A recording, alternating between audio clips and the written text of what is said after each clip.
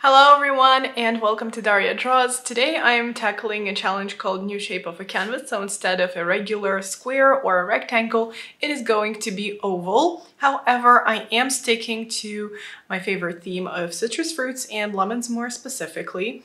Also, the paintings will be done in one and a half uh, sitting. So uh, there is a bit of a pressure, but I am very much excited for the challenge. So let's see what happens.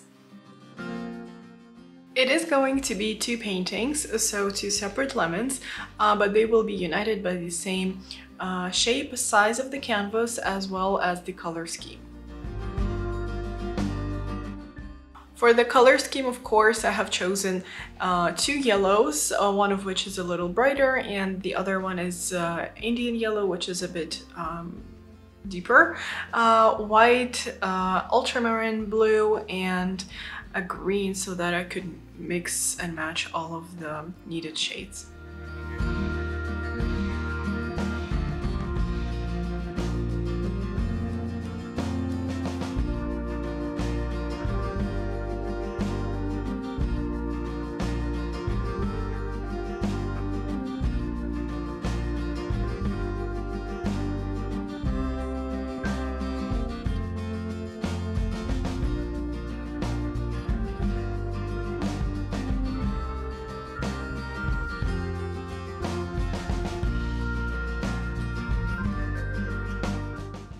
As I am trying to make a more sketchy, more effortless painting, I am going to tone the canvas with the future uh, color of the background, which is going to be this nice sky blue. Sketching may seem like the very first step, which allows you to make mistakes, but not in this case, uh, because I need everything to be perfect from the first try. So I am really taking my time uh, to make each stroke precise and in the right place.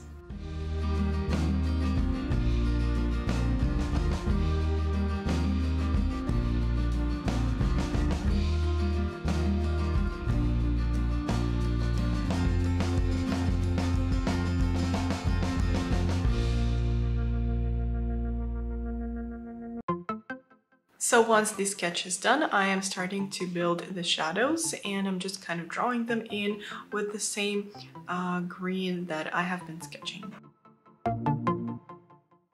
So this green layer serves kind of like an underpainting, which will help uh, guide myself in the future with the right colors.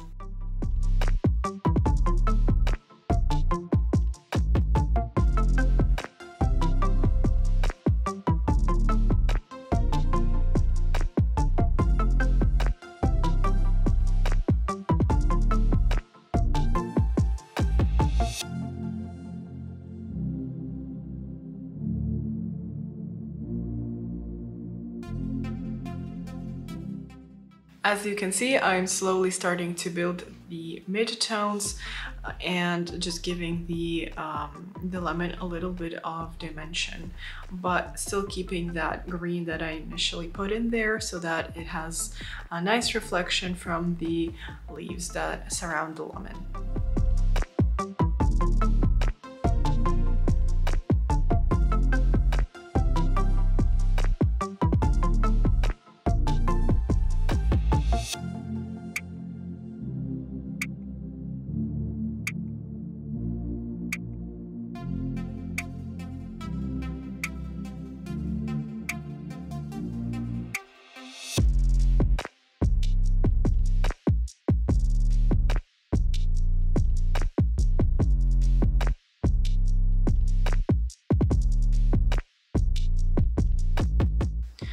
At this point, I want to build not only the visual effect of a dimension, but actual texture that is tangible. So I am using the lighter shades at this point uh, to bring out the full spectrum of the values. But of course I am keeping the shadows a little more flat, a little more smooth, while the lights are um, more textured and a little bit um, freer in terms of brush strokes.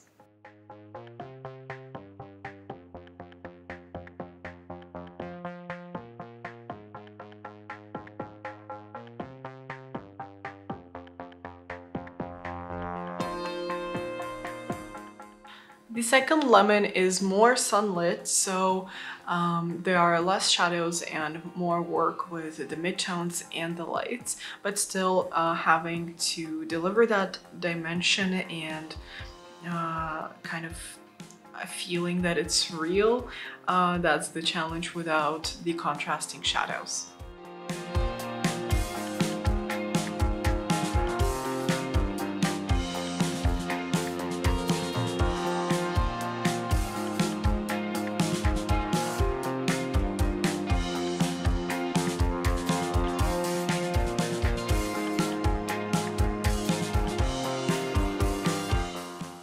Course, because the lemons aren't perfect circle or sphere, the shadows are going to be bumpy um, on the shapes as well. And I guess it kind of makes the job a little easier because I don't have to be as precise, but it also makes the job a little more challenging at the same time because it has to look natural.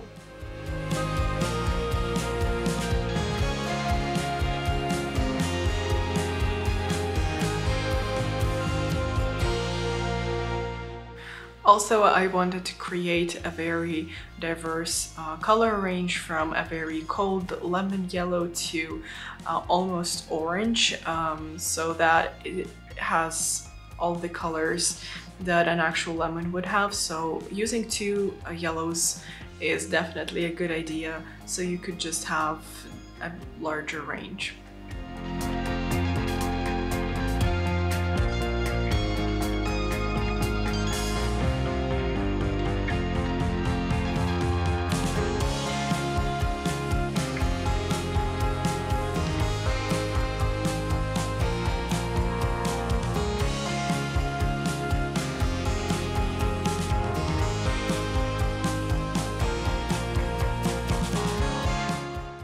And one of my favorite tricks to carve out the shapes is to use a more contrasting, um, perhaps a lighter uh, background on the shadow side of the object that you're painting.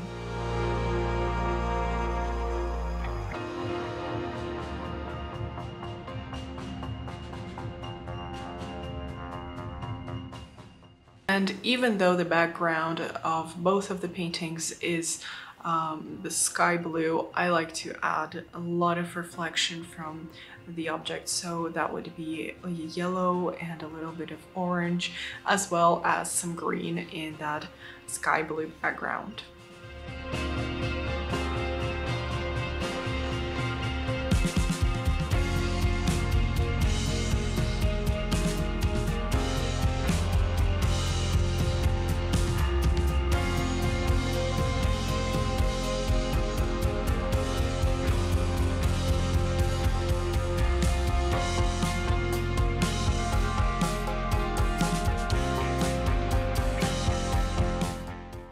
Course, the most uh, textured place on the painting is going to be those highlights um, and they just add also to that feeling of um, that porous uh, skin that a lemon has.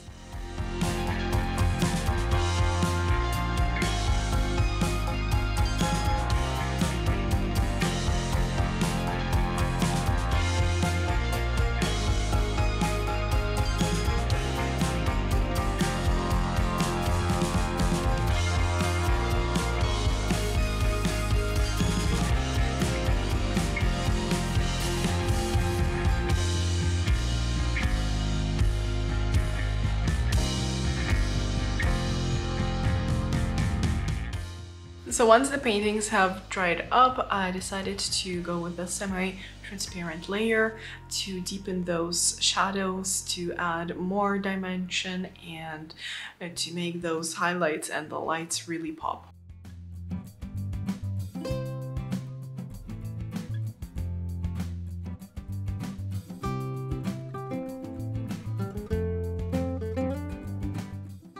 Normally I wouldn't use uh, the tissue to kind of rub around uh, that layer, but in this case I feel like it adds to that effect. Uh, it adds to the texture of the lemon itself.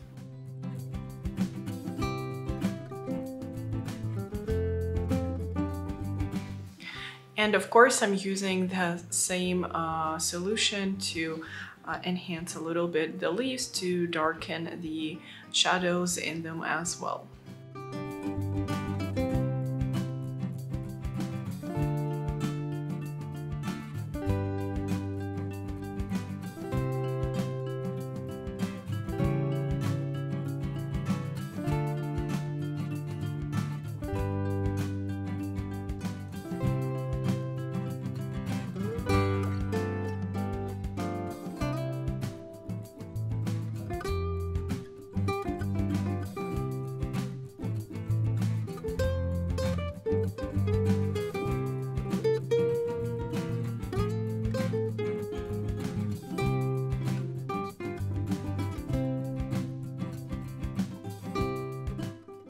I feel like the background is the element that kind of brings all the other things together into one cohesive composition. So I do like to pay attention to it and adding some uh, last touches.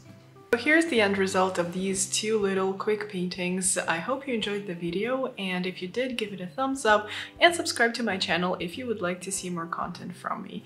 Thank you so much for watching and I will see you in the next video.